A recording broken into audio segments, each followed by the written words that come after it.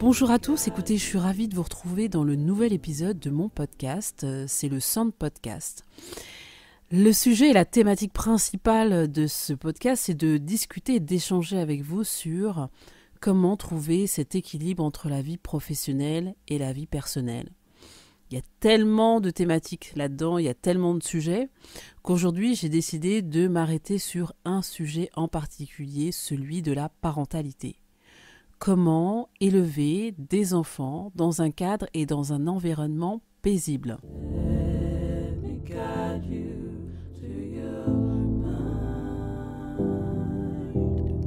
J'ai euh, des auteurs auxquels je pense tout de suite là, euh, notamment Cécile Alvarez, qui est euh, une femme que j'adore parce que elle m'a vraiment donné une autre vision de ce que pouvait être l'éducation et l'apprentissage. Je ne sais pas si vous la connaissez, mais je vous mettrai les informations dans la barre d'infos. Vraiment, Cécile Alvarez, qui est en fait une, enseignante, qui a euh, décidé euh, à un moment donné de proposer une version alternative de l'éducation. Elle a un livre qui est passionnant que j'ai lu mes jumelles parce que bon j'ai trois enfants dont des jumelles. mes jumelles étaient, elles devaient avoir deux ou trois ans et quand j'ai lu ce livre, ça a été une vraie révélation.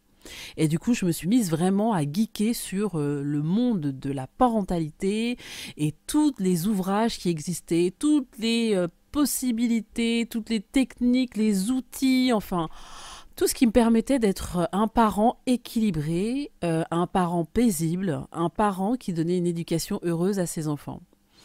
Et là, eh ben c'est pas simple. Franchement, je pense que tous ceux qui, qui m'écoutent là et qui sont parents, se disent que vraiment, en fait, faut qu'on s'avoue quelque chose. C'est hyper dur d'élever des enfants. Et comment trouver l'équilibre dans tout ça quand vous avez, euh, alors vous venez euh, d'avoir un, enfant, euh, vous sortez de la, de la maternité, vous rentrez chez vous, premier enfant, premier cri, première nuit sans dormir, vous ne savez pas comment vous y prendre. Si vous avez la chance, vous êtes en couple. Si c'est pas que vous n'avez pas la chance, mais si vous êtes seul, ben vous êtes seul, hein, et puis c'est tout. Moi, j'ai élevé mes enfants seuls, donc je, sais vraiment ce que ça peut être de se lever toute seule le soir, la nuit, et euh, de gérer en fait euh, un enfant sans trop savoir finalement ce qu'il a, parce que l'enfant ne parle pas, et donc vous devez décrypter à chaque instant des choses qui sont parfois indécryptables. Donc se connecter à ses intuitions, euh, bref, il y a tout un tas de choses, mais effectivement, vous êtes complètement, euh, parfois, vous, vous êtes perdu parce que même si vous avez vu vos parents faire éventuellement avec vos petits frères et vos petites sœurs, même si vous avez vu vos amis, vos frères et sœurs qui étaient plus grands que vous, ou qui ont eu des enfants avant vous, vous les avez vus évoluer, euh, clairement, vous ne pouvez pas savoir ce que c'est que d'être parent tant que vous n'avez pas des enfants. Voilà, c'est clair, net et précis. Alors viennent les, euh, les, les, techniques, et c'est vrai qu'il y a tout un tas d'études qui ont été faites sur euh, le fait que in utero, vos enfants, vos futurs enfants, avaient la sensation de votre présence par l'odeur, par le toucher, parce que quand vous touchez votre ventre, alors vous n'avez pas directement accès à votre bébé, mais vous avez quand même une possibilité de créer un contact où l'enfant sent quand même votre présence, par votre voix. Et puis pour les mamans qui portent l'enfant, il y a clairement une connexion qui se fait entre euh, la mère et l'enfant pendant la grossesse. Donc la période in utero est très importante. Je vous mettrai... Euh, pareil des, ouvrages ou des livres, en tout cas des reportages même sur YouTube, qui vous permettront de voir en fait l'importance de la, de la partie in utero dans euh, l'évolution de votre enfant, même plus tard. Alors moi, j'ai su ça plus tard, c'est-à-dire que j'ai eu l'information après avoir accouché.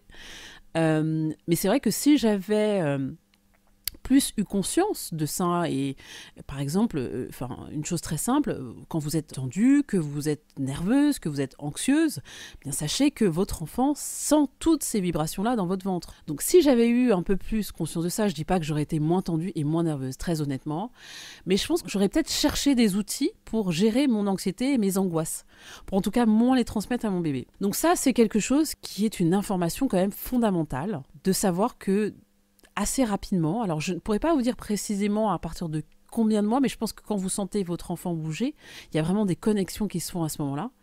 Et qu'il est, il est vraiment important de prendre soin de vous. Vraiment, prenez soin de vous. Et en fait, vous prenez pas soin de vous que pendant que vous êtes enceinte, vous prenez soin de vous tout le temps. Et le papa qui est là également euh, quand il est présent au moment de, de, de la grossesse, eh bien, chaque fois que vous parlez à l'enfant, sachez qu'il entend votre voix et qu'il y a un lien qui se crée à partir de la voix du papa également. Donc c'est vraiment important, tout ce que vous allez dire à votre enfant, le cadre dans lequel vous allez l'accueillir dans cette vie euh, est très très très important et va l'aider à devenir un futur adulte équilibré. Alors équilibré, euh, qu'est-ce que ça veut dire? C'est très subjectif. Hein. Vraiment, j'ai une description de l'équilibre qui est peut-être différente de la vôtre.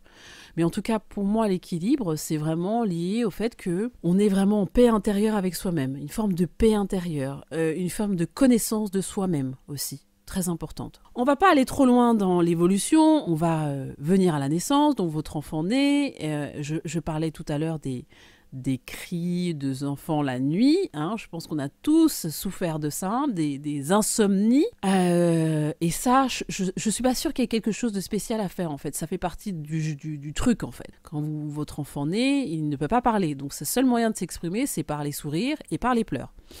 Donc, il faut juste euh, prendre votre mal en patience, hein, euh, vraiment. Alors parfois, je, crois vraiment que euh, le relais, hein, une astuce, hein, vous prenez l'air à un moment donné, vous allez vraiment prendre l'air, vous allez vous balader, vous allez chez le coiffeur, et vous relayez si vous êtes deux, vous avez la chance d'être deux, vous relayez, vous prenez un temps pour vous en fait, pour juste respirer. Parce que la venue d'un enfant prend énormément de temps. C'est un moment de joie et de bonheur incroyable, mais ça prend énormément de temps. Et donc forcément, votre équilibre que vous aviez avant en tant que personne individuelle, même si vous étiez dans un couple, vous étiez quand même deux adultes avec une forme de conscience et, un rapport adulte. Là, vous accueillez un enfant dans votre vie et donc votre environnement, votre cadre, ce que vous aviez créé est complètement chamboulé. Donc effectivement, l'équilibre que vous pourriez avoir défini doit être modifié, doit être transformé. Il tient compte de nouveaux paramètres. Je pense que c'est important vraiment de... Et moi, ça, j'avais pas vraiment conscience de ça et c'est pour ça que j'insiste sur ce point-là. Je me suis dit, bon voilà, t'accouches, t'as des enfants, bah en fait, tu te mets à fond, quoi. C'est-à-dire que les enfants, les enfants, les enfants. En plus, moi, je travaille en même temps parce que je n'ai pas arrêté de travailler comme je suis entrepreneur, euh, bah, en fait, euh, c'est un choix, hein, j'aurais pu décider d'arrêter, hein, euh, mais non. Hein, je, je, moi, j'étais avec mon ordi à l'hôpital, je travaillais, je me levais le matin, je m'habillais, je me préparais. J'ai eu la chance d'accoucher dans de bonnes conditions, c'est-à-dire qu'en fait, j'ai eu des superbes accouchements, j'ai pas souffert, j'ai repris rapidement ma ligne et j'avais un, un, mental assez fort, donc donc du coup, même si j'étais extrêmement fatiguée, clairement extrêmement fatiguée, particulièrement avec des jumelles, euh, j'avais quand même un mental fort qui me qui me donnait une espèce de un drive en fait. Donc je me levais, je m'habillais, je n'étais jamais en train de traîner. Euh, j'avais une conscience de moi et l'envie de prendre soin de moi. Je me maquillais euh, pour garder cette pêche et pas m'oublier en fait, parce que je voulais pas que mon être tout entier s'effondre dans les abysses. Mais je peux comprendre que ça arrive hein, et, je, crois fondamentalement que Enfin, encore une fois, c'est élever des enfants pour moi, c'est la chose la plus difficile à faire sur Terre. Sur l'équilibre, c'est vrai que assez rapidement, alors il y a un changement incroyable qui se fait dans le corps d'une femme au moment de la grossesse. Donc ce que je suis, je vais dire par la suite est à prendre avec des pincettes. Quand j'ai repris le sport, j'ai décidé de reprendre le sport, j'étais quatre mois après avoir accouché. Je ne conseille pas forcément à toutes les femmes de faire ça. Parce que quand vous reprenez le sport, il faut que votre corps, qui a subi des modifications importantes, puisse avoir repris, en tout cas, les organes. Hein. on parle de la descente des organes, c'est vraiment un truc grave en fait. Donc ne prenons pas ça à la légère. Allez voir votre médecin, demandez-lui avant si euh, vous pouvez reprendre le sport. Mais c'est vrai que moi, ça m'a aidé. Justement, en faisant du sport, je faisais la course à pied, ça m'a aidé à garder un mental apaisé pour pouvoir rester équilibré. Vraiment parce que ça me demandait tellement d'énergie de m'occuper des enfants, et puis je m'en occupais toute seule, ça me demandait tellement d'énergie qu'en fait, d'aller courir et d'aller enlever peut-être la colère, les angoisses, le stress, dans cette course qui me, me remettait vraiment dans, un, dans une forme de, de calme et de paix intérieure, eh bien, c'est devenu un élément important pour mon équilibre. Ça peut être autre chose. Vous faites du yoga, euh, vous faites la natation, très très conseillé d'ailleurs aussi la natation. C'est moins violent que de faire de la course à pied, clairement. Sachez qu'en tout cas, la pratique du sport est un élément que vous pouvez utiliser, que ce soit quand les enfants sont en bas âge euh, euh, ou plus tard, hein, parce que c'est la même euh, la même intensité qui, se, qui est demandée euh, en, don de votre personne pour les élever, les éduquer.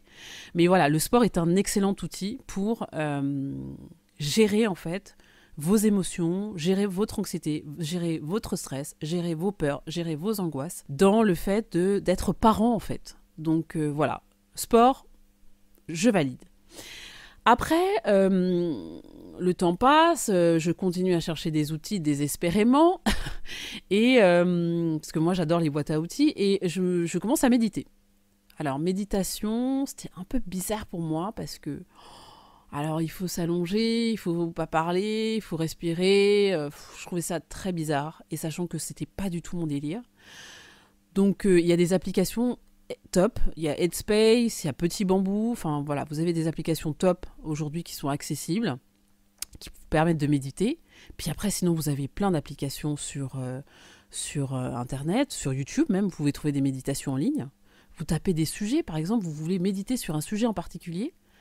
Euh, méditation, self-love, voilà, pour vous donner de l'amour à vous-même eh bien sachez qu'il existe des méditations où vous avez des personnes qui vous invitent à faire avoir ce temps de respiration et ce temps d'introspection pour vous donner de l'amour à vous-même, pour euh, euh, prendre du temps pour vous et euh, ça vous soigne en fait, ça vous guérit.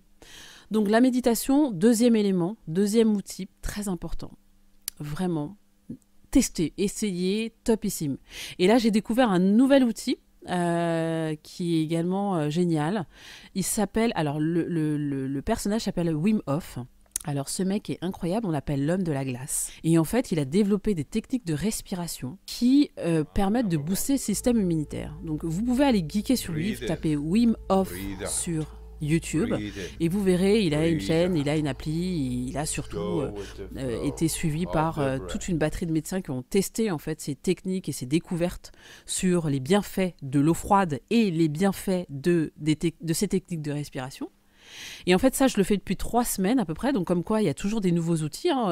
là, à l'heure où je vous parle, mes enfants ont 8 ans pour mon grand garçon et mes filles ont 5 ans. Donc euh, voilà, des âges où ça parle beaucoup, ça s'exprime beaucoup, ça prend beaucoup votre énergie. Donc Wim bravo et merci parce que vous avez donné des outils euh, stop. Euh, voilà, donc je vous invite à faire ça. Et, et, en fait, ces exercices de respiration, ça vous prend 10 minutes. 10 minutes. Franchement ça se gère totalement. Soit vous le faites quand les enfants sont couchés, soit vous le faites le matin avant de vous lever, soit vous le faites parce qu'à un moment donné de la journée, vous êtes en tension et vous vous dites j'ai envie juste de respirer. Donc vous faites cet exercice de respiration et vous verrez, ça vous remet une paix intérieure, ça vous réaligne directement, c'est juste génial.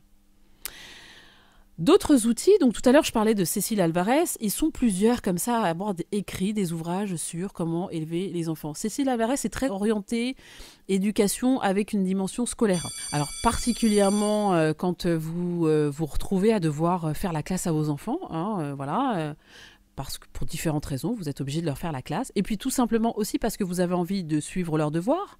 Euh, euh, quand ils vont à l'école, vous avez envie de suivre leurs devoirs et d'être sûr que les connaissances qu'ils sont en train d'acquérir sont bien euh, acquises ou comme moi, vous avez envie de euh, donner des outils un peu plus rapidement. Alors, je m'explique. Il est vrai que euh, quand mes enfants étaient tout petits, euh, j'ai, en regardant effectivement tout ce courant de d'écoles alternatives, il y a aussi l'école Montessori, voilà.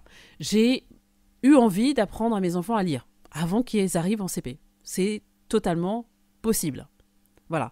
C'est pas genre un truc painful, vous retroussez les manches, vous dites ça va être horrible. Non, non, c'est totalement possible.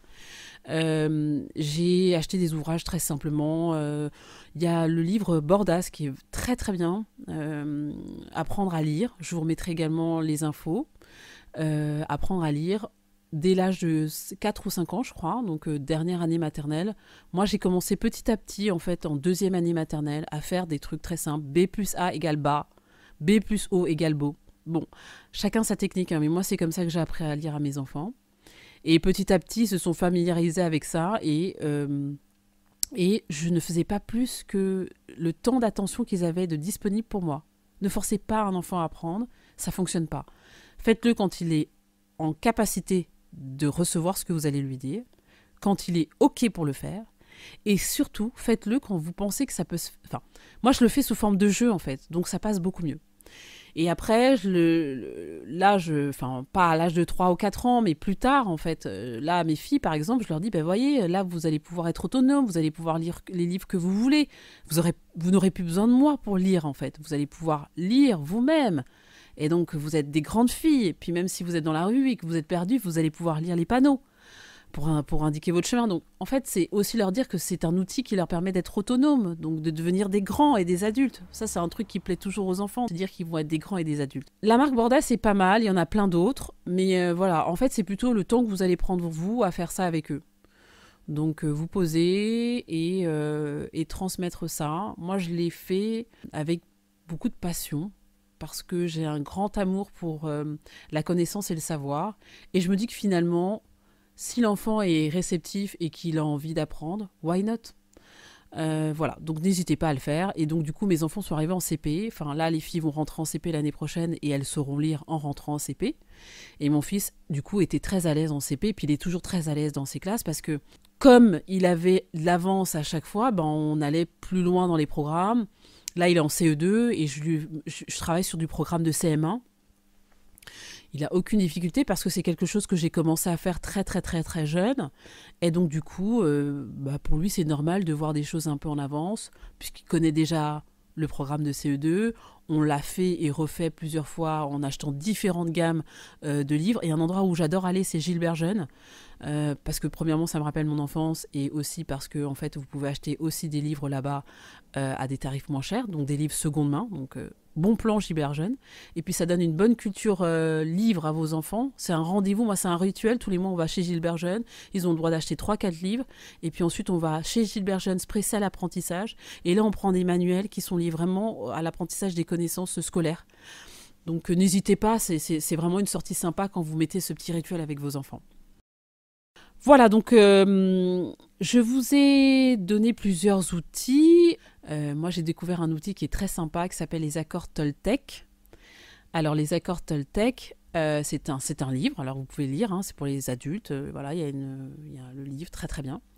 Qui, les quatre accords Toltec. Et en fait, en cherchant sur YouTube, j'ai trouvé les quatre accords Toltec expliqués pour les enfants. Alors c'est génial parce que c'est un outil euh, dans lequel les enfants vont pouvoir répondre, enfin moi je l'ai utilisé comme ça en tout cas, répondre à cette passive agressivité qu'ils peuvent avoir à l'école. Et oui, parce que comme vous le savez, vous avez été petit aussi, et euh, bah, les enfants, des fois ils sont hyper cool, des fois ils sont pas très cool entre eux. Donc comment gérer la passive agressivité Comment ne pas se laisser submerger par euh, une insulte? Ça peut être une insulte ou une agression d'un copain ou, de quelqu'un à l'école. Et les accords Toltec, géniaux. Vraiment topissime. Euh, et en fait, euh, j'ai appris aux enfants aussi à, avoir confiance en eux. Il y a une, femme que j'aime beaucoup s'appelle Bene Brown et elle a, euh, elle écrit beaucoup de livres sur la vulnérabilité. Et c'est un les premiers livres que j'ai lus, en tout cas l'audiobook que j'ai écouté sur la vulnérabilité, c'était elle qui l'avait écrit. Et euh, pour moi, c'était un truc complètement genre, ça veut dire quoi la vulnérabilité? Je comprends pas. Et en fait, j'ai appris la vulnérabilité, j'ai appris à exprimer mes émotions. Une fois que j'ai capté que c'était important, en fait, j'ai transmis ça à mes enfants. Donc euh, voilà, bah, quand tu pleures, tu exprimes pourquoi tu pleures. Quand tu n'es pas d'accord, tu exprimes pourquoi tu n'es pas d'accord. Alors ça ne veut pas dire qu'il se met en, en opposition avec moi systématique, pas du tout. C'est exprimer juste un ressenti, Hein, pour moi, ça n'a rien à voir avec l'autorité. On, est dans un, dans un échange dans lequel, si je trouve mes enfants en train de s'engueuler, par exemple, ou de se taper dessus, j'arrête, je dis bon, stop, qu'est-ce qui se passe Et je donne la voix à chacun, enfin, je donne le temps à chacun de parler, d'exprimer ce qu'il ressent. Oui, alors voilà, euh, il m'a fait ci, il m'a fait ça, truc. Ok, t'as tout dit, oui, qu'est-ce que ça t'a fait? Oui, non, non. Ensuite, suivant, oui, mais machin, truc. Ok, t'as tout dit, oui. Euh, et suivant. Et chacun donne son ressenti. Et au début, ça, ça fonctionnait très, enfin ça fonctionnait pas hein, parce que personne s'écoutait. Et au fur et à mesure maintenant ils ont pris l'habitude. Ils savent que quand je les appelle parce qu'ils sont en train de s'embrouiller et que je les pose là devant moi ils savent qu'ils vont pouvoir avoir un temps pour exprimer leur ressenti et que ce sera écouté et après, s'il y a besoin de faire excuser les uns et les autres parce qu'ils ont été mal polis ou quoi, ils s'excusent. Ils ont appris à s'excuser. Donc, en gros, ce que j'ai expliqué à mes enfants, c'est que, par exemple, le, bouclier, quand vous êtes euh, à l'école et qu'un enfant vient vous voir et il vous dit que vous n'êtes pas beau ou vous êtes moche, eh bien, vous lui dites, bah non. Non, non, non, moi je suis très belle. Ma mère me dit tous les jours que je suis jolie et donc euh, ce que tu dis, c'est faux. Donc j'ai appris à mes enfants à avoir la conscience de ça avoir conscience qu'ils étaient aimés par les membres de leur famille, à leur donner la conscience que bah, ils étaient des belles personnes, quoi qu'il advienne, vous êtes des belles personnes, et que l'individu qui vient poser sur vous ce type d'agression ou ce type de mots n'est pas justifié. Donc vous n'avez pas à recevoir ça. Vous, vous mettez votre bouclier devant vous et vous bloquez l'information. Et surtout, vous la renvoyez à l'envoyeur, retour à l'envoyeur, comme on dit, mais très paisiblement. Donc vulnérabilité, de se dire, ben en fait, euh, je me sens agressé là, donc je ressens l'agression. Ensuite, je suis bienveillant parce que je dis à la personne que bah non, en fait, je ne suis pas comme ça, comme ça, comme ça. Si tu le dis, bah c'est ton problème et ça te regarde. Mais moi, ma famille, elle pense que je suis comme ça, comme ça, comme ça. Donc je leur ai appris ce mode-là de penser pour qu'ils puissent enclencher ça dans leur rapport avec les autres. Et ça marche incroyablement bien ça leur permet de ne. De, de... Moi, mon fils, un jour, il me dit Oui, on m'a dit, ta mère là. Hum. Et en larmes, en me disant Oui, comment on peut dire un truc pareil C'est horrible. Il a 8 ans. C'est horrible, etc., etc. Et en fait, je lui ai expliqué par, par ce, ces quatre accords Toltec, je lui ai expliqué comment il pouvait mettre un barrage mental hein, à l'information qu'il venait de recevoir. Et qu'en plus, cette information était fausse, puisque je ne suis pas une. Hum. Voilà Euh, voilà, bah écoutez, je, y aurait plein d'outils encore à donner et je pense que je pourrais passer la journée et la nuit à vous expliquer euh, plein de choses. Je, je, pense aussi que je referai un épisode sur ça. J'ai essayé de balayer un petit peu des outils qui peuvent, enfin, en tout cas, les ressentis qu'on peut avoir quand on attend un enfant et euh, quand on est parent et qu'on attend un enfant qui va venir sur Terre, voilà. Euh, les choses et les précautions à prendre. Donc ce, concept de in utero, n'hésitez pas à aller faire des recherches dessus. Et après, quand les enfants grandissent, qui deviennent un peu plus vieux. Hein. Je suis même pas allée jusqu'à l'adolescence. Je pense que je ferai un épisode spécial adolescent. Mais sur, euh, en tout cas, cette première phase de vie euh, jeune, puis après passer en école primaire, je vous ai donné pas mal d'outils. Le plus important dans tout ça, prenez soin de vous parce que vos enfants sont connectés à votre énergie. Et si vous allez bien, ils iront bien aussi. C'est la seule chose que je peux vous dire. Si vous allez bien, vos enfants iront bien aussi. Chaque jour, je réfléchis à savoir comment je peux faire pour aller bien. Alors je fais du sport, je fais de la méditation et je prends le temps d'apprendre de nouvelles choses. Je vous fais des gros bisous et je vous dis à très bientôt.